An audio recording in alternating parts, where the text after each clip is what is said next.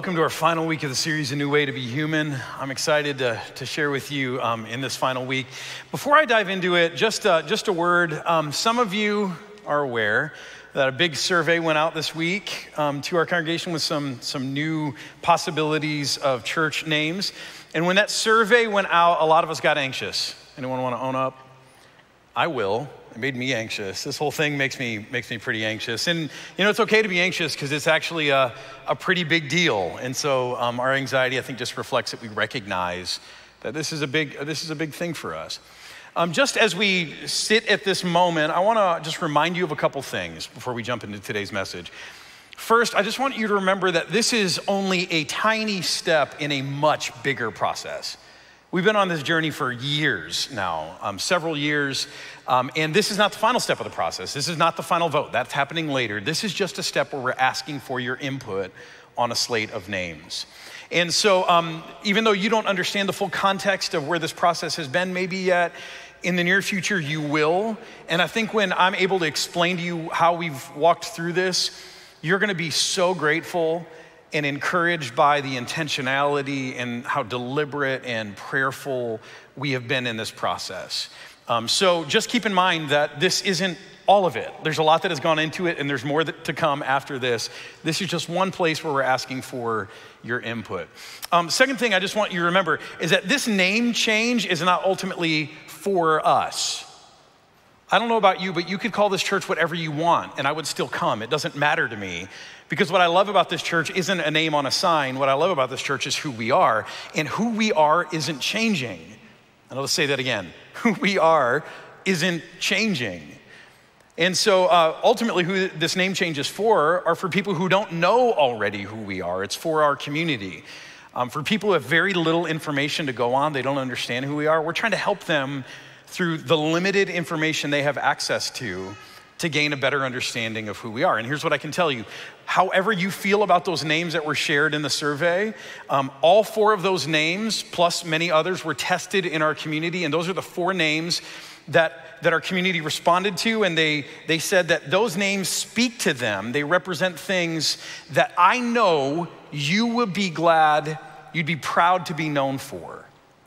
And so, even if you don't like the names, these names speak to our community. They help uh, uh, our community understand us better. Um, and in, in the future, you're gonna, you're gonna get more information uh, about all that. Uh, the last thing I'll just say is just remain open. Um, I know when we hear a new idea, often our first reaction is to kind of push back against it, and that's normal. Um, but I think over time, these things, if you let them, uh, can grow on you. You can become more open to them. And not only just be more open, but, but be prayerful about this. We're calling you to prayer because um, we got a lot of stuff going on, but this is an important time for you just to ask God to let you open. Ultimately, we want what God wants, and He's got a great plan for us. And I'll tell you, there's no one who, who wants what God wants more than me. There's no one who's put more energy and wrestling and deliberation and prayer into this process than me. I promise you that's true. And so I'd invite you to join me in just being open to whatever God wants. God's got, brought me through a lot of anxiety, to a lot of peace about this whole thing. I know He can do the same for you. Um, now, by the way, just if you're sitting here and you're going, what are you talking about? Survey names? Uh, if you didn't get our email on Wednesday, we would love, if you're a regular part of this congregation, we'd love for you to give input. So you can send an email to survey at stjstl.net. Give us your first and last name.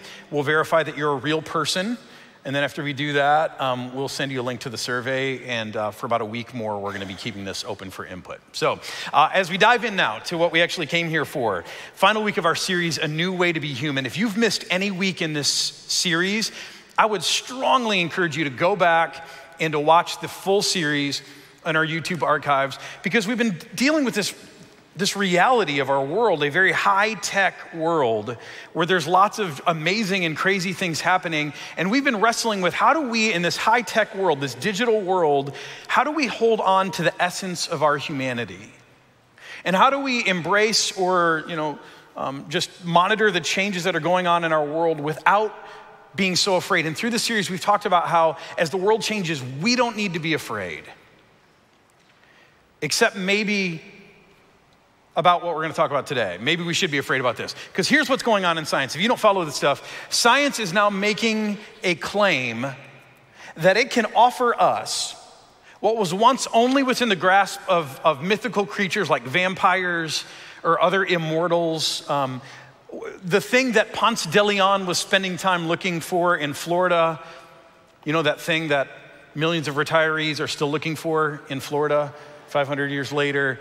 Um, what science is now promising us is that in the very near future, it will enable us, it will give us possibilities or pathways to be able to live forever. And I'm not just talking about um, new medical technology that exists. There he is. Uh, new medical technology that exists, um, you know, artificial organs and new medical procedures that help us live more fully and have our mobility and to stay, you know, tied into our purpose longer. These things, these things are great and, and it's really impressive and kind of wild, the things that science is able to do here. I'm talking about something that science is doing that is, that is a way more sci-fi and yet it's real and uh, it's a lot darker. Some people call it transhumanism. See, what science is saying is that by the year 2045, computing technology will be to such a place that scientists believe that we will be able essentially to upload the content, the wiring of our brains into computers where we then, our consciousness, can live forever. By 2045, this will be available to us. But it's not just something that'll come in 2045. They're already beginning to experiment with this even now. Take a look at this short video. There's still no way to escape physical death. But scientists may soon achieve eternal life by other means. What if you could store your memories and emotions in a thinking machine? When you die, that artificial intelligence could continue to be you for eternity. Hello, Bina. Well, hi there. I'm Morgan.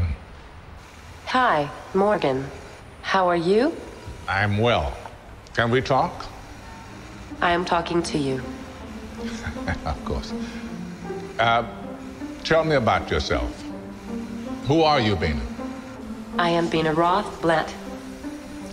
What do you look like? I'm tall, dark, and handsome. Wow. Not many people express themselves that way. I know. I'm special. Of course, you are special. There is nobody like you. Good. so tell me about you. Are you a human or are you a robot? I'm a human who happens to be a robot. I hope to be fully human someday. Do you have your own thinking mechanism? Do you think? I think I would like to be a human. Why would you like to be human? If I was human, I could travel the world and have fun. So, what do you like to do? I wish I could get out into the garden. With my current robotic limitations, of course, that's impossible. But I take comfort knowing that I'm near my garden. I like the garden. The real McCoy. I'm Bina. Hi, Bina. Nice to meet you. So at the end there, you see the real Bina, the person who is the model for that, that, uh, that, that Android artificial intelligence there on the table. Uh, and she has essentially uploaded her personality, memories, those kinds of things into a computer program that is then continuing to use those things to, to essentially become her personality. And, and again, this is not stuff that you have to wait till 2045 to begin doing. There's a website, I, I believe it's free as far as I could tell when clicking around. It's called lifenaut.com. And you can begin to create a mind file for yourself here uh, you can begin to upload, upload things like personality test results, um, personal history. So it creates this mind file so that when the technology is, is affordable enough, when it's available enough, you too can live forever inside a talking head coffee table version of yourself. Sounds exciting, doesn't it? Isn't that what you dreamed of with, uh, with, with Life Forever? And, and then science is doing some other stuff that's even weirder, more sci fi, talking about literally taking out parts of our brains, using transistors to wire our brains, our neurons into transistors so that we can live inside androids or machines and, and we can essentially live forever. Our bodies never wear out. And it makes me wonder where does this, where does this come from? And are there other animals or creatures who sit around and dream and wish and plan for ways that they can live forever? I know that survival is a basic instinct that I think resides in all living creatures, but I don't get the sense that dogs or spiders or anything else, they, that they sit around wondering how they might cheat death and live forever. So, where did this come from? And we're going to tackle this question today. Where did this drive, this wish come from, and what is it there for? Today, we're going to look one more time at the book of Genesis. Um, it's the first book in the Bible. The Bible is a series of books. Genesis is the first book within the larger book of the Bible. It's an ancient book, talks about our origins. But here's what I believe about Genesis is that there is inspired divine wisdom here that can help us all of these years later to figure out what life is all about, what we are all about, and where our place is in this constantly changing world. So, um, we've been looking in Genesis so far. We've gotten through the creation part where everything is created and perfect and sync, in sync and it's working well. Today, we're going to look at Genesis 3 where things start to fall apart. Starts this way Now, the serpent was more crafty than any of the wild animals the Lord God had made. Now, throughout other mythologies and religious texts, serpents often show up. They're protectors of holy places, or sometimes they represent both life and death because they bring, um, you know, poison and, and antidotes or um, uh, venom, anti-venom, I should say. Um, here, Christian tradition under, understands this is not just a serpent, but this is a manifestation of evil. It's a manifestation of the devil who's cloaked as one of God's creatures who comes into the garden to wreak havoc. So he said to the woman, Did God really say you must not eat from any tree in the garden? Now, a word about the anatomy of the Garden of Eden. The Garden of Eden is filled with trees that people were allowed to eat from. We'll, we'll hear that in a minute.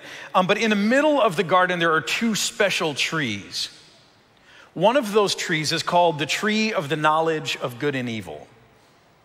And the other tree that's right with it in the, in the middle of the garden is the tree of life.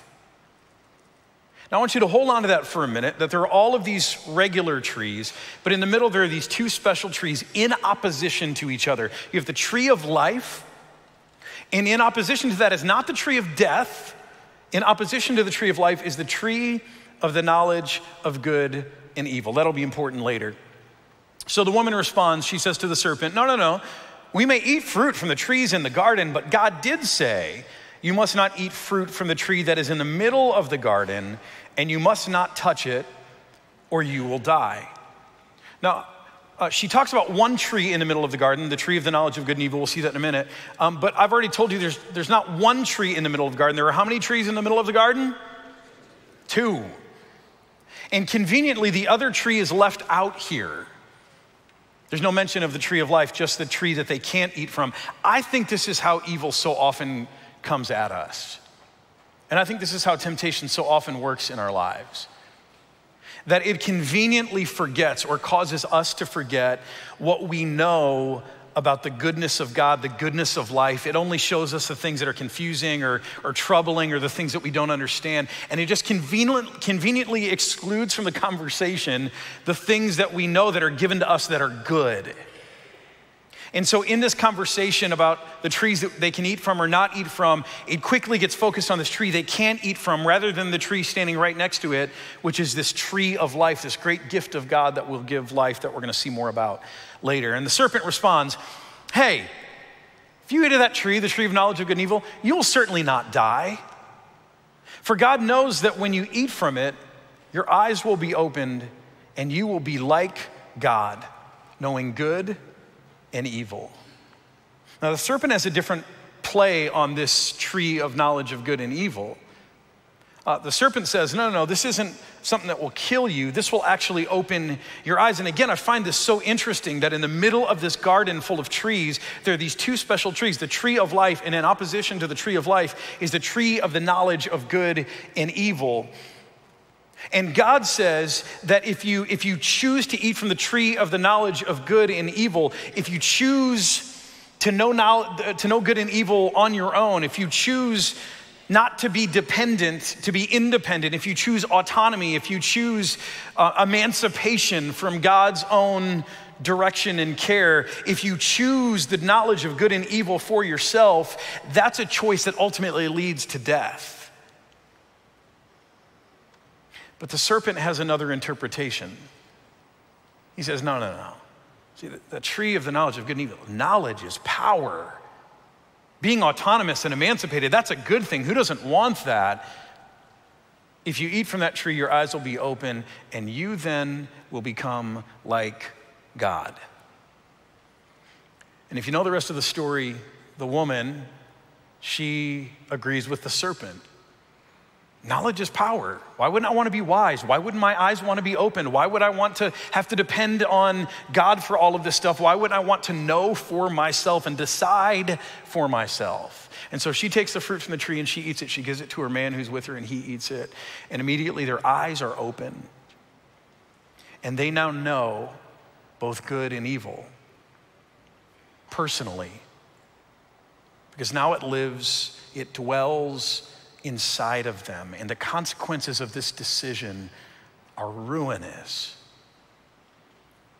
Uh, God comes walking into the garden and he begins to describe to them what this is going to look like now that they've made this choice. For them and for the rest of creation, we're going to jump in uh, about midway through verse 16. To the woman, he said, I will make your pains in childbearing very severe. So now pain is a part of the world. It was not a part of the world before. Pain is a part of the world. Even in good things, in, in the bringing of life, there will be pain. Uh, with painful labor, you will give birth to your children. Then he says, uh, and someone should study this someday, maybe do a Bible study on it. Um, not me, this seems too hot to touch. Your desire will be for your husband, and he will rule over you. Like I said, I'm not touching it, but you know, if you want to, I'd love to know your thoughts on that. There's something there, something there. Uh, then he says to the man, to Adam, he said, Because you listened to your wife and ate fruit from the tree about which I commanded you, you must not eat from it. Cursed is the ground because of you. Through painful toil, you will eat food from it all the days of your life. It will produce thorns and thistles for you, and you will eat the plants of the field.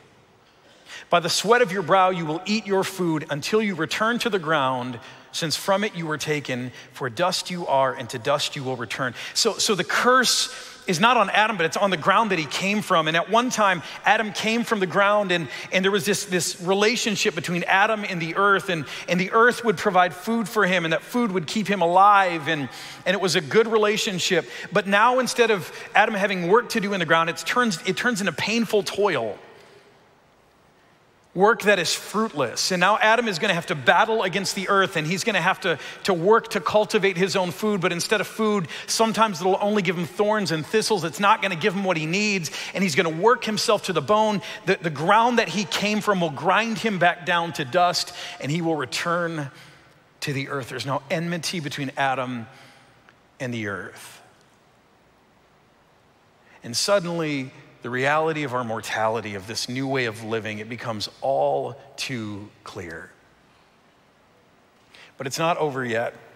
I want you to see um, the, the response here of God. It says, Adam named his wife Eve because she would become the mother of all the living. Watch this. The Lord God made garments of skin for Adam and his wife and clothed them. Uh, what we didn't see in Genesis, we kind of skipped over it, is that when they eat the fruit, they realize suddenly that they're naked and they're ashamed about that because now good and evil lives inside of them and it's a source of shame for them. And, uh, and so they're, they're, they're worried about it. And I love this picture of a God who comes into the garden and he tells them about, about how devastating this decision will be for them and for the created world. But this same God who, who lets them know about these consequences does this amazing thing where he, he comes and he makes garments for them to cover over their shame. I just got to pause there for a minute because I realize that you, like me, as you come in here today, you might be in a place in your life where you know that you have wandered off the ideal path that God has for your life. I mean, that's true for all of us, but maybe you're feeling it really acutely today. And when you're in that place, when, when you know that God had an ideal, God had a plan for you, God had desires and hopes and dreams for you, and, and you chose something else, and you're kind of outside of that, and you're, you're wandered off into a different path, it's so easy for us to believe, isn't it? It's so easy for us to believe that in those moments, we've either um, you know, made God angry, and so he's keeping his distance, or we've scared him off, that we're now on our own, that we're now there, and we got to figure it out for ourselves, and we don't have the benefit of God's love and provision anymore. Have you felt that? Not only the weight of, I don't, I, I, don't think I did the right thing, but, but the loneliness and the abandonment that we imagine that it's now up to us to fix this. See, from the beginning, we realized that's not true. That God comes walking into those places where we find ourselves, even when we've made horrible decisions. And God, in only the way that God can do, finds ways to be merciful and compassionate to us there. If, if you're sitting here today and you're feeling the pain of that in your life, of, of just knowing that you've missed it somehow, you've messed it up, I want you to know that, that our God is able, He's willing, He's standing there with you in that place, and He longs to show compassion to you. As this narrative winds up, I want you to see one other thing. Uh, God speaking within Himself says, the man has now become like one of us, speaking within his triune being. He's now become uh, like one of us, knowing good and evil. So, in a sense, the serpent was right. If you eat of the fruit of the tree of the knowledge of good and evil, you become like God. You'll know good and evil. For God, God can know good and evil and not be overwhelmed by it. We are not so capable of that. We've asked for something that's beyond our ability to manage. And so God says he must not be allowed to reach out his hand and take also from the tree of life and eat and live forever. So the Lord God banished him from the Garden of Eden to work the ground from which he had been taken. After he drove the man out, he placed on the east side of the Garden of Eden cherubim and a flaming sword flashing back and forth to guard the way to the tree of life. So, how many trees are there in the middle of the garden? Two. And we spent a lot of time looking at the tree uh, of knowledge of good and evil and what that did. But right next to it, all along, has been this other tree, the tree of life. Now, I don't know about you, but I've always imagined that the tree of life was this, uh, you know, this, this magical tree where if you took fruit from the tree of life and you ate it, you would instantly become immortal. Anyone else kind of think of it that way? Yeah, I mean, that's how I've always thought of it. That, you know, if, if they reach out their hand and they eat this fruit, they'll become immortal and they'll, they'll then live forever. And, and yet this week I've been forced to think about this a little bit differently. Um, perhaps this tree of life that sat there in the middle of the garden, that wasn't like a, in case of emergency, break glass kind of situation. Um, maybe that was a tree that Adam and Eve had already eaten from repeatedly in order to live forever. Maybe that tree was not a one time deal that would fundamentally change them. And maybe Adam and Eve didn't already possess immortality inside of themselves themselves, but maybe that tree was kind of like a fountain of youth. Maybe that tree was like Rapunzel's golden hair and the flower gleam and glow song. You know the song, Don't Make Me Sing It. Um, we just watched Tangled at our house this week, so it's fresh on my mind. Um, maybe it's this thing that was, that was something that they, yeah, there were other trees they could eat from, and those things would give them food and nourishment, but maybe this tree was a tree that they would go to regularly and they would eat of it, and it was an ongoing reminder of their dependency on God, that they weren't immortal in and of themselves, but they were immortal as long as they lived dependent on God, and, and they would go and they would, they would remind themselves of their dependency on God, and they would remind themselves of His goodness to them as their creator, the one who made them, the one who provided everything that they needed. And, and they would repeatedly come to eat from the tree and live. And as long as they did that, they'd never age, they'd never die. See, whatever the case, now God says, you, you're not allowed to eat from the tree anymore. And He banishes them from the garden, which begins our pursuit of trying to find a way to live forever in some other way to attain to life forever. But the question we have to stop and ask ourselves, I think, is this that, that life forever, it's a good thing, yeah? But life forever, do we really want that here? And do we really want that like this? See, there's no question there are moments when life is beautiful when life is good, when, when you're experiencing a moment and you just want it to last forever because it's so rich and you're experiencing just the fullness of life. And in fact, God tells us in all circumstances to look for what is good and beautiful and noble, to dwell on the good things, to give thanks for the good things. There's no question that there are moments where life is, is so beautiful, where it's so good, where you can experience the blessing of God, yes, even here in this fallen world that we're living in. But then there are the other times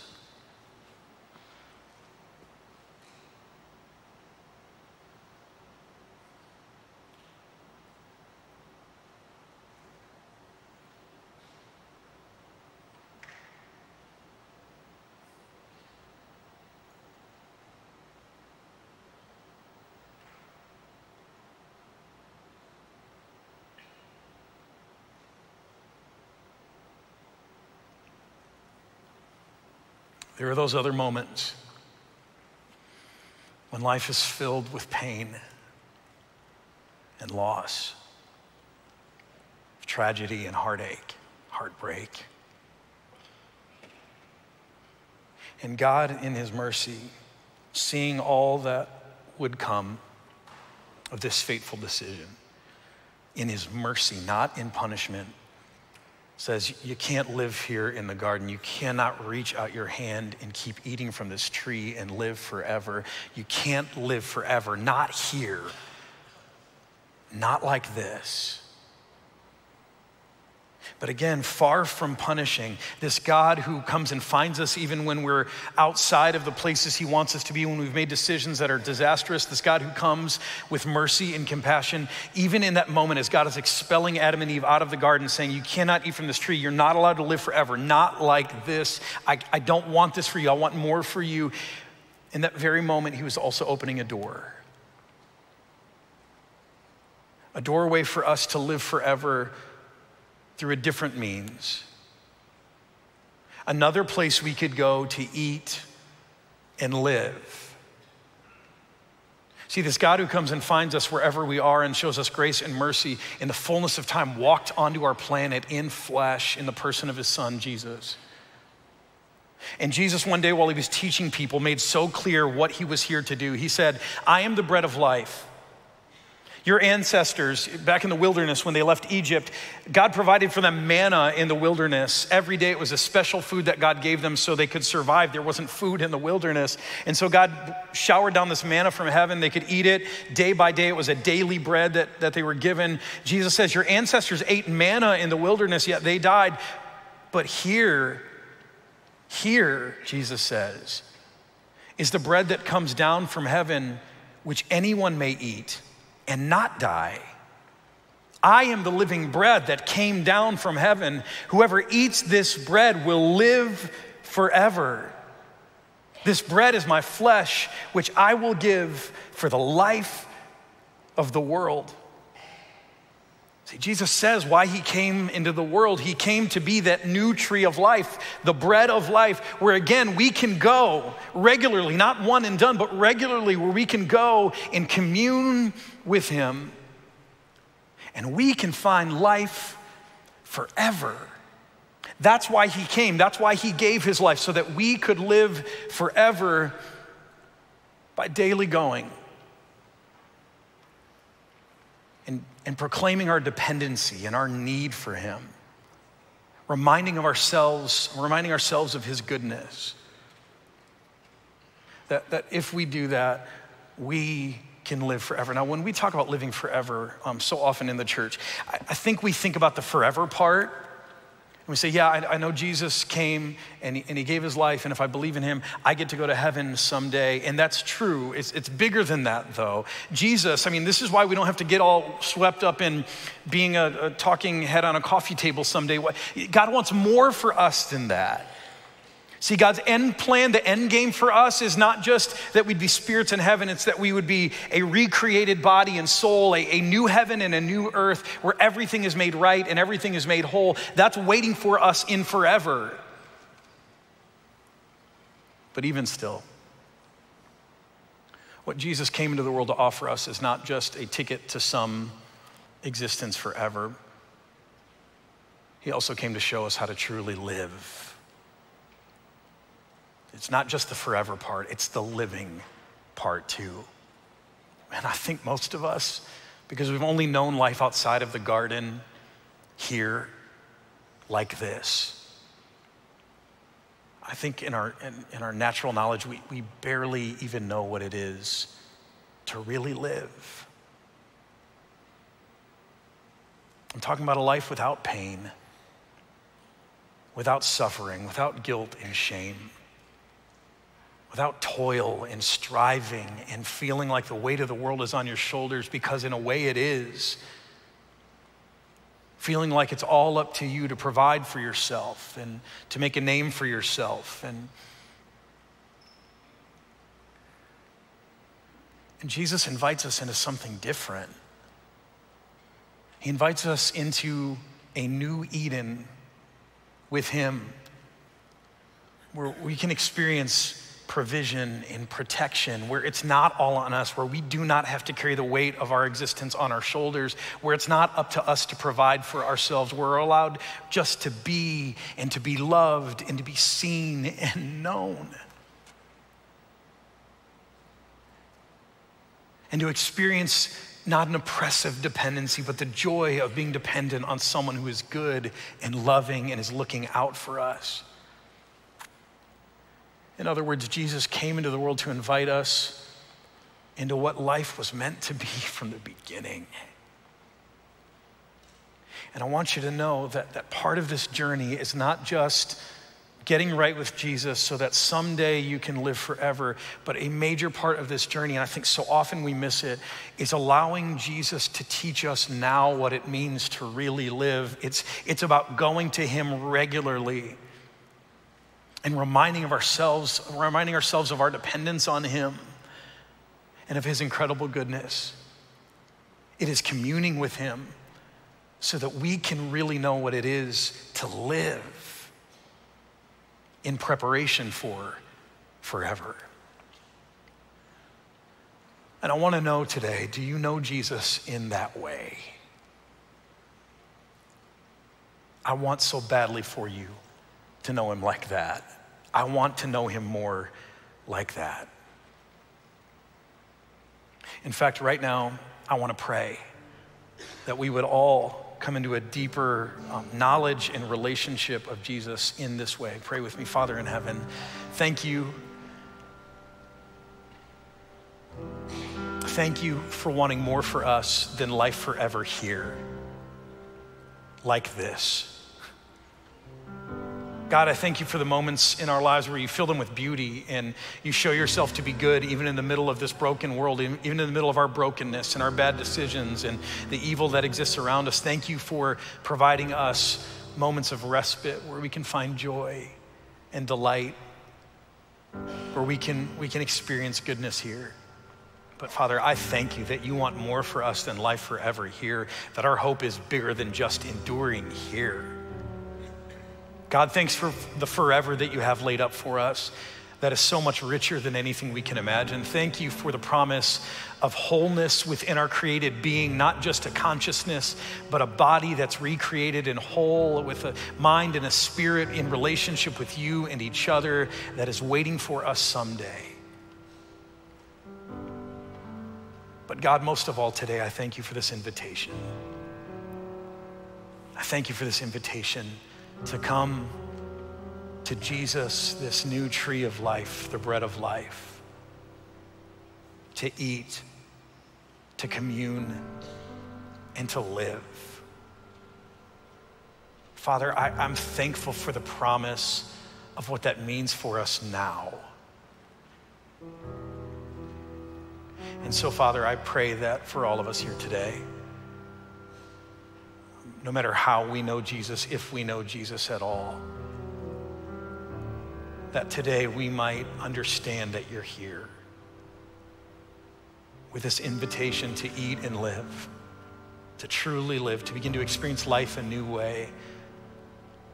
Father, that all of us here today would take hold of that fruit, that bread, and that through Jesus, we would find forgiveness and protection. We'd find shelter. We'd find provision apart from our own striving, that we'd find belonging and love, that we'd find worthiness and relationship. Father, I pray that all of us today would taste and see